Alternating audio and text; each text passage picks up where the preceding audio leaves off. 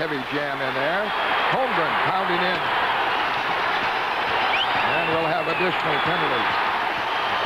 Well, the battle is on. I think it's Holmgren for the uh, Flyers down on the ice. Secord's on top of them. And, of course, it's one of those things that you see a lot now.